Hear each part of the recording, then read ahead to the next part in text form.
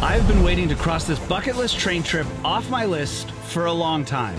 This is Via Rail, Canada's only national passenger rail service, which will take us from Halifax, Nova Scotia, across the world's second largest country, all the way to my hometown of Vancouver, British Columbia. We'll be sitting in economy and business class, as well as trying all the sleeper options. And yes, I'll be showing you the bathrooms too. If you rode the train straight across Canada, tip to tip, without stopping, it would take about a week. But for us, this journey will take 10 weeks. 10 provinces, 10 episodes. You see, I used to travel differently. I'd see an ad for a beautiful place, I'd buy the ticket, and I'd fly around the world to do some tourist activity that thousands of people do a day. But sitting at home for the last two years had me realize that this is not how I want to travel anymore. Which is why, in this series, we're traveling across my home country of Canada and trying the most incredible and authentic experiences we can find in each province. Canada's small towns and hardworking, friendly people don't get the credit they deserve. So we'll make sure that changes. We'll be log rolling with a seven time world champion, Wow. helping with the harvest on a potato farm, training with the Canadian Coast Guard, flying with Canada's oldest flight school, and learning more about our Indigenous culture, which is why, as a proud Canadian, this isn't just the trip I want to do, it's the trip I need to do. And we're starting right here in Newfoundland. This is Downie Live, Travels by Train, coast to coast, one of my best and biggest adventures yet, and it starts right now.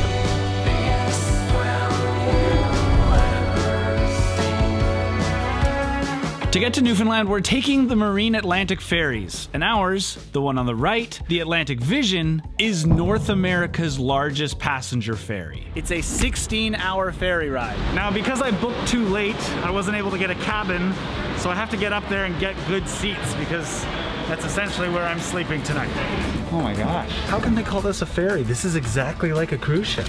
It says there's no sleeping permitted, so I think we're slightly behind schedule. Uh, eating in, please. Instead of eating alone, do you want to join us? We hike the uh, North Coast Trail. I know it was sunny when we started, but it got very dark and a little bit misty in the air. It's uh, very typical Atlantic Ocean weather, I think.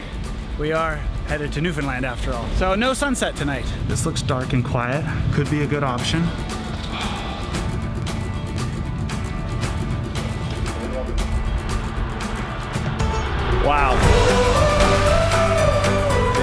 This is Newfoundland. This is exactly what I expected it to be. Gray, cool, but not cold. Mountains, barren shore.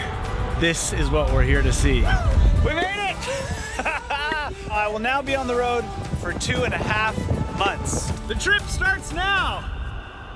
This is the most easterly point in North America, which makes us the very first people today to watch that sunrise. This is Downie Live, travels by train across Canada, which means we're starting here in Newfoundland, the most easterly province in Canada. But you're probably saying, Mike, there are no trains in Newfoundland. I will prove to you that there were. And all the history of it is here at the Railway Coastal Museum in St. John's. The museum is actually in the old train station, which was built in 1903, so well over 100 years old. It's a beautiful building in itself. But if you look across the street, you'll see some actual trains. I mean, it's a train in Newfoundland. They actually have a still standing train here next to the museum in downtown St. John's. They have an old coach car, they have a mail car, and they have an engine at the front. They also have a great example of an old speeder. This is where a maintenance crew would hop inside, run down the rails, they'd be pulling a trailer behind full of tools and rail ties, and they could fix whatever needed to be fixed and back without having to send out an entire train. It's a little bit more efficient. And this is the Avondale Railway Museum. You see, there isn't a railway on Newfoundland now, but as of up to 1988, there was. It ran passenger and freight rail. And this is one of the few places in the entire province that you can actually still see trains sitting on tracks here in Newfoundland. Well, it's still loved by the Newfies, right? Themselves here. They just introduced themselves. Fantastic, friendly people. Train here in Newfoundland was a big thing here one time. Yeah. And that was a means of our transportation for supplies, uh, food. What, what happened was, over the years, the tracks wasn't big enough for newer trains to come in. Right. So they had to discontinue it. So basically now this is a beautiful museum. Yeah. And hopefully everybody can come to see. Come visit the Avondale Museum, the Railway Museum. Yeah. Oh, you might run into Bonnie. Are you are you friends or sisters or Best, best friends for years. Be- best friend? Uh, just giving all the information on Bonnie here. Bonnie was the the island girl in what year? Newfoundland in uh, 2003. 2003. Yeah. Still still look great. Once it was announced that the railway wouldn't be getting any funding anymore, Canadian National Railway actually pulled up their tracks pretty quickly. Within two years, all the tracks on the island were gone, except for this stretch, which you can ride on this sort of miniature train. Not miniature, miniature, but you know, scaled down anyways, and they have even a nice caboose that you could ride in if it were, oh, I don't know, raining like it does. Of course, probably the most important piece of railway equipment is the snowplow. I mean, just look at how much snow it could take. I'm nine feet tall too, so that, you know, we're just 23 feet of snow. I'm six foot, it's fine. Newfoundland is a big province, but it wasn't well connected by roads. The only way to get from community to community was by ship until they built the railroad. And with Newfoundland being the closest part of North America to Europe, it was essential for military use through World War I and World War II. Again, making the railroad a key component of the success of life and operating in Newfoundland. Now, no one wants to do this trip alone, and none of my friends can take 10 weeks off work, but luckily my friend Will is another travel vlogger. And this trip oh, is right up his alley. Welcome, everybody. Now, we have a few days until our train departs, so we thought, why not get to know Newfoundland a little bit better? And the first thing you have to do is get screeched in as an honorary Newfoundlander.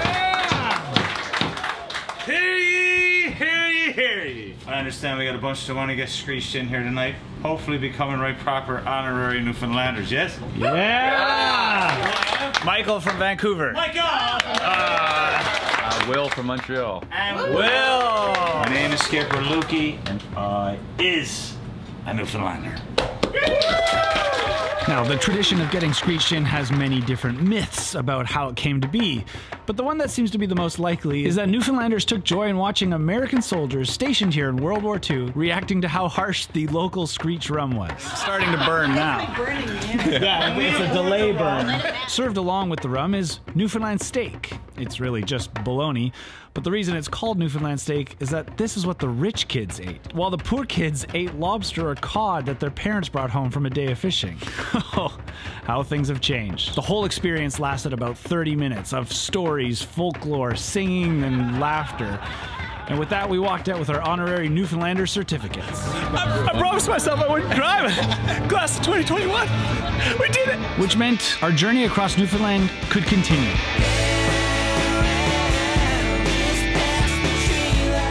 And our first stop was for some local food. This is a Touton. Holy tootin' tootins. This is a Newfoundland tootin'. Wait, how did I just pronounce it? No Dootin, it's a Tootin. No, it's a Touton. This one with the bacon, baked beans, and molasses is a Towny Tootin. Since I'm a Downie, had to order the Towny. and uh, here we are. So basically, a Tootin is kind of like a pancake. It's just dough, it's a little bit thicker, but here they deep fry it. So you can see how soft yet still crispy that is. Never heard of it before, but looking forward to trying it. It's hard to describe. It's like a cross between a donut and a croissant. And uh, Yes. how have I, born and raised in Canada, never heard of a Touton before? This is delicious. If you come to Newfoundland, you have to try this. I thought I would really want this with maple syrup. The molasses is really good. I don't know the last time I've had molasses. I like it. Now that we're fed, it's time to keep moving. Just as we expected, Newfoundland is full of cute and quaint fishing villages, along with jagged cliffs and impressive lighthouses. No, except for maybe this one. It's not about the size of your lighthouse, it's just about how bright your light is. And this guy's pretty cute. Does the job. look how look how small this door is. But before you mock the size of the Greenpoint Lighthouse, know that it has been here since 1883 and is protected as a historic site. Its short, only 6 meters, and functional design, made of steel instead of concrete, mean that it can withstand the rigors of the Newfoundland coast. In fact, it kind of reminds me a lot of the Newfoundland people humble and resilient. So, the truth is, traveling on the road isn't always glamorous. We're in this cute little motel. We actually have a little sea view here. But when you're driving and traveling so long, you're up early. It's either stopping at diners or fast food restaurants. We stopped at a grocery store yesterday. Will got us some bananas and some oatmeal. Found a coffee cup, boiled the water, and Gonna add it. The problem is, how do you eat it? As you know, this whole experience is presented by Tru Earth. They're more than just laundry strips, they're trying to get rid of plastic in all household products, which is actually why I partnered with them. But this works really well for me because it's a little travel pack of bamboo cutlery. We have a bamboo knife, bamboo fork, bamboo spoon, bamboo straw with a straw cleaner, and even chopsticks. So this little pack that folds up efficiently like this has everything I could need to stop and have a picnic on the road or an oatmeal in the hotel room. Completely reusable, washable, so I'll end up just washing this in the sink in the bathroom and it'll be good to go for lunch on the road or breakfast tomorrow. I know this isn't luxury travel, but this is this is the realities of it. And I really like that Tru Earth makes eco-friendly products with no plastic so I can make smart decisions for the earth and for myself while I'm on the road. And I have a discount code for you, so you can check out any of their products with the discount code DownieLive. Save yourself 10% off. Great for laundry or travel. Okay, let's hit the road.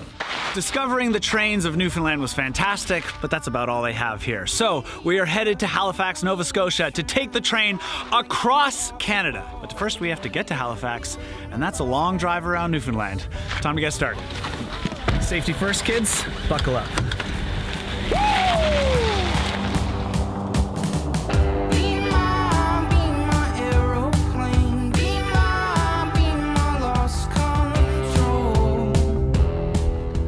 It's these kind of roads when you see it, you gotta drive down. Blow me down, but you won't let me down. This is the quaint fishing village of Dildo, Newfoundland, home to a fleet of cod fishing vessels, but also a number of locally owned businesses. Dildo Dogs, the Dildo Sweets, and Nan and Pops for all your dildo souvenirs. From Dildo with Love. I think there's one more business in town we need to try. To new places with new people. Cheers. When you're in a fishing village, you get the fish and chips. Mmm. Who knew? Dildo Brewing, best fish and chips in Canada. Said by me. I did ask what kind of fish was in the fish and chips, and it's local, fresh caught cod from this morning. And that got me thinking how does one fish for cod? Well, that's when we stumbled upon Captain Dave. Morning. Now, when we joined him, he was cleaning his cod to store for the winter and he immediately put us to work. The cod has been caught and cleaned, and we're setting them out to dry, and then they'll be salted to be preserved, just like his parents did. Did you caught that and you just keep it here? No, no, I didn't catch these. They came ashore last night. No, they just come ashore. Just All aboard! All aboard! So Dave took us out on his boat to see if we could catch a cod on our own.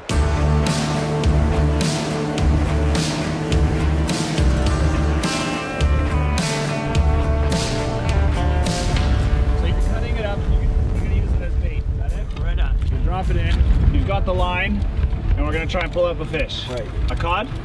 Well, we're What do you try. think? Now, this is not a very good spot for catching cod where we're to right now because Right. we cannot go out today on the fishing ground because it's just too windy. Now, Dave, I know you Newfoundlanders kiss a lot of cod. Would it help to catch one if I puckered up here? Would that entice it to come on up? Unfortunately, with the high winds, the only catch we made was Dave's hat he had lost in the water. That's what we call catch of the day. But we did learn a lot about Dave's past and how he brought together this little fishing village. Somebody said to me a while ago, "You're 74 years old." Wait, wait, you're 74. Yeah, You so look 75. much younger. Why don't you sell your fishing license? Right, and retire. My fishing license is my freedom. Yeah, And what's the value of freedom? can't put a price on it. So let me get this straight. You've been here for 17 years on this site, and you built this from I, I didn't build these buildings, I No. towed them. These are all original buildings, saved from demolition and transported here to create his pier and fishing village. I brought them here because you cannot build history. Oh, look at it come right off. Oh my It's not even on pontoons. You literally floated the building, just the wooden building. I've never seen that before. That's amazing. Now, let me tell you how badass Dave is. He reconstructed an entire say whale skeleton. Do you know how hard that is? I called the whale expert in St. John's and he said, Dave, what are you going to do with the whale? Yeah. I said, I might put the bones together. Okay. He said, You mean you're going to articulate it yourself? He said, Well, you can try it, he said, but it won't be museum quality. Right. I said, Okay, thanks for the encouragement. Yeah. He let the carcass decompose for three years. I had a lot of employees. Okay. They're called crows Yeah. and seagulls. I see. And see the rib cage here? Yeah. See the jawbone? Yeah. See the blubber? Yeah. What a mess. Yes. Then he cleaned each bone by hand with a toothbrush before carefully reassembling it with his son over a full year. This thing is huge. I cannot believe Dave did this all by himself. The man is impressive. Captain Dave is a true representation of Newfoundland, but what's really impressive is running a winery that doesn't use grapes. This is the Auk Island Winery. Now, there are only three wineries in Newfoundland, and this is one of them. Instead of using grapes, they make specialty wines using Newfoundland berries and fruits. We have Jelly Bean Row, Moose Juice, Crooked Cod. We kissed one of those. Jelly Bean Row, taster number one. This is strawberry and partridge berry wine. Is it true you're just one of three wineries on one of two? There's only two. We're the best. was a 50% chance. That's true. Strawberries and raspberries are from local farms, and all the other berries are wild, just in the area, I assume. Only because I kissed one the other day. Would like to try crooked cod, please. Oh, you were screeched in. Wait, what's getting screeched in? a few too many of these, and you start to look at the. Crooked cod here is blueberry and raspberry. I would like to try half cut, please, which. I'm worried if I keep this pace up, I may just be. Half Cut is a dandelion wine. I don't think I've ever had wine made of dandelion before. That is sweet, but it's very smooth. Yeah. We were just there. Surprising. Now, since Twillingate is touted as the iceberg capital of the world, with icebergs floating past in the spring and summer, well, they decided to take those icebergs, melt them down, and use the 20,000 year old water in this wine. What's a bake apple? Do you bake the apple? What's why not just apple? Wait, a b- bake apple is a berry? Yes, this is a bake apple. Okay. See, we didn't come for the wines, we came for the learning. I'm, this is a learning experience. All right, let me try this bake apple. Mm, a little thicker, a little heavier, sweet, but smooth. Well, I wanted to. I wanted to have twice the. This isn't the kind of place you're tossing them back, is it? It is? Yes. Oh! Oh, I didn't know. Pleasure to meet you all. Have a great day. It's been wonderful. I highly recommend it. Morning, Will. Morning. Ready for another day on the road? Always ready. Today is another road trip day. Not only are we going to a Canadian national park, but it is also a UNESCO World Heritage Site. This is Gros Morne National Park. More specifically, this is Tablelands Trail, which will take you to a place that looks like Mars. They say this is the only place in the world where you can walk on the Earth's mantle. This orange, barren landscape is even more surprising when you realize that it's just an hour's drive away to this, which is a lot more like the fjords of Norway. This is also in Gros Morne National Park and is named Western Brook Pond. Now, it's clearly not a pond, but it is freshwater lake surrounded by rock cliffs, waterfalls, one of which is 350 meters high, which makes it one of the highest in North America. Now, because this is a national park, this boat that we're on had to be specifically certified so it wouldn't cause any damage to the area. But I think I can officially certify it as a good time.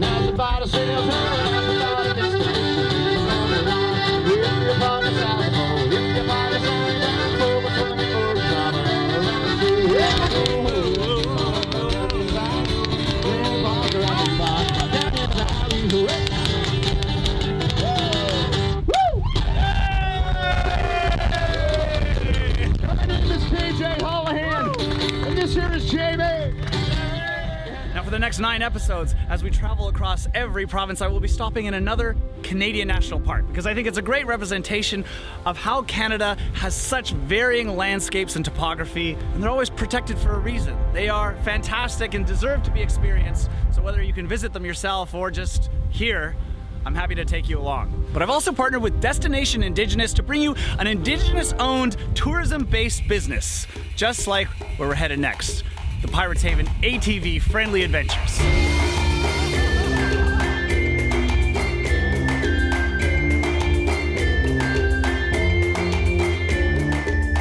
This is exactly why I love ATVing. It's an adrenaline filled ride that takes you to an incredible and remote location like this. I did not expect to come across a meadow covered cliff in Newfoundland. I, I don't want to use too much hyperbole and say this is stunning and the most incredible adventurous day I've ever had, but you've seen how awesome the video's been so far, and this might just top it all. We joined this group of friends from New Brunswick that have been ATVing across the whole province of Newfoundland together. And somehow we've all ended up here together on our last day. So we just pulled up on the lake. We're cooking up some uh, moose sausages. Doesn't get much better than this. Look at that. What a spot. course. This is a four-course meal. This is just the first course. Oh, Paul. What do you got here, Paul? Fresh molasses raisin buns. Fresh loaded oven, 3 o'clock this morning. It puts the extra little flavor to your molasses and your raisins. I plan these trips, but I never fully know what to expect. And I, I did not expect having a moose burger next to the lake with a great group of people. And we arrived by ATVs. I know I smile a lot in these videos and I'm generally a positive, happy guy, but look at this. Look at this smile. I know we're headed to Nova Scotia next, so they've got a big task ahead of themselves to impress me after the time we've had in Newfoundland. When you travel, you often pick the destination for the scenery or the experience. But afterwards, mostly you remember the going? people. nice. That's the Genoli? Yeah. Whew, that was awesome. This is dirty. Let's see. Look at my. I think I might need some Tru Earth. Time for, time for a deep clean. Well, after an incredible day and a very needed shower, we're headed there for traditional dinner. Oh, everybody's here! Family knew it was gonna be pan fried cod, didn't you? Traditional dinner. Cheers. Thanks for joining us. Meeting people while traveling is always the best because we're all in a good mood. But also, you often come from very different backgrounds. And so tonight's conversation is a mix of Acadian French and English combined with, well, drinks and laughter. But we can't stay up too late because tomorrow, the adventure continues as we take the ferry to Nova Scotia. There is one more train tucked away against the Newfoundland backdrop on our way to the ferry, but we're in a rush to get to Halifax. Will, how much do you think this ferry costs? I would say f- 500 million, maybe. Well, if you think it costs 500 million, then I would say Marine Atlantic got a great deal because it only cost 100 million dollars. All right, let's head upstairs and check it out. Wow, nine decks. We are about halfway through our ferry ride today, and you can't see Nova Scotia, you can't see Newfoundland, but honestly, I couldn't ask for a better way to travel on a day like today. Sunny, warm, calm, not a thing in sight except for the sister ship going in the opposite direction. They are lucky people headed to Newfoundland. I really didn't know what to expect from my time in Newfoundland, but I didn't expect to meet some fun Newfoundlanders at a small train museum, or to go hat fishing with a man who built a whole whale skeleton, to have Canada Post officially stamp a postcard from Dildo, to walking on the Earth's mantle or eating moose burgers on a remote beach. And this was only scratching the surface of what Newfoundland has to offer. It has the friendliest people and the most incredible landscape. But there's more to Canada to see, so we have to keep going. Yeah, okay. This is comfortable. I think it reclines. Oh yeah, oh yeah. I can spend seven hours here. And we're second row, so we have a view the whole trip. I'm gonna be a happy guy. Let's get some food. Hey, you don't need to watch me eat. Why don't we just cut to a teaser of what's coming up in Nova Scotia? Next week on Downie Live Travels by Train, we get the full Atlantic Ocean experience with a little surfing. Then drive along Canada's most scenic road, the Cabot Trail. We dance with the Eskasoni First Nations, we try our hand at lobster fishing, and even challenge a lumberjack and his mother to a team sawing race. Let's go! Teamwork, even, smooth and steady. All before boarding the ocean, where Emma points out her house. Okay, here we go. Here we go. Ever gonna be able to see it? So you just watched the trailer for next week's video. I haven't seen it yet because I haven't done it yet, which means I don't know where I'm going next, but I know I want you there with me. I'm Mike. Thank you for watching Downie Live Travels by Train, presented by Tru Earth. Thank you, Tru Earth. I'll see you next week. We got a postcard from Mike. And it's, uh, oh, Mike.